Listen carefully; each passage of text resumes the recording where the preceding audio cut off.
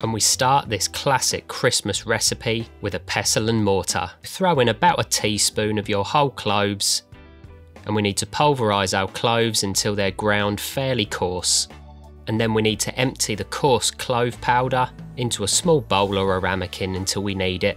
Pop your clove powder to one side, and next we need to take a good saucepan and we need to start by gently heating our milk. Pour in your full fat milk and to the milk we add equal amounts of our clove powder and cinnamon powder. And also grate in about the same amount of a whole nutmeg.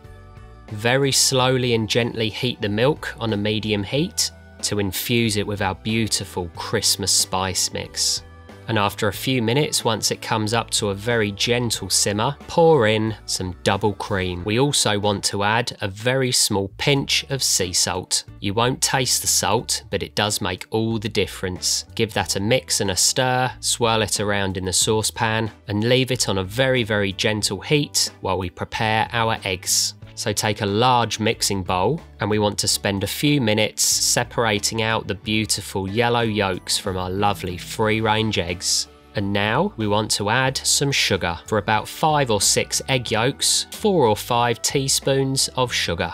And we want to give this a really good whisk till it beautifully thickens up. We want it about the consistency of double cream. And now we want to slowly incorporate the milk into the egg mixture while we vigorously whisk.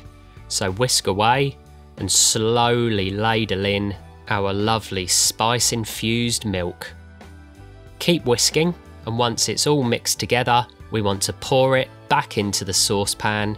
And on a very very low heat we need to keep stirring the mixture until it beautifully thickens up. And after a few minutes once the mixture becomes beautiful and thick a couple of teaspoons of our vanilla extract also, one or two shots of lovely brandy, and finish with a shot or two of Irish whiskey. At this point, we want to strain our eggnog mixture through a sieve to make sure it's beautifully silky and smooth. After you've done this, leave your eggnog mixture in a fridge for a couple of hours for it to cool down, and once it's cool, it's ready to go. Just pour your mixture into a glass, and I like to finish my eggnog with a little grating of some fresh nutmeg.